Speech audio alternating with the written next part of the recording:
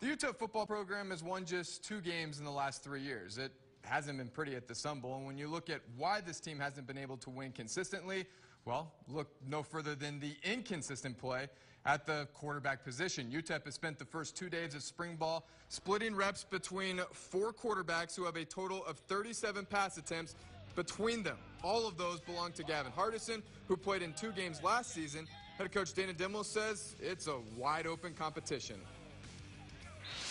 I thought it was important to give them all the same amount of reps day one and day two, okay? Because they're all working extremely hard. And then they're going to be graded from day one, day two. Got a little bit more experience on my belt. I know the playbook a lot better than I did when I first got here. Uh, but, you know, this is still kind of new to me because this is my first spring here. I feel like competition kind of brings the best out of me. And I feel like if it's a wide open competition right now and it's not predetermined like last year.